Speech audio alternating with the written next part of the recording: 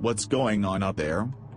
Probably just another drill, like this one time, there was a drill and I was finally going to finish a game of blackjack, and the rest of the guys said there was no way. Funny. Oh my, references are the best. It's a good thing the rest of our base isn't getting ambushed right now. Yeah that would make us look like total D-bags.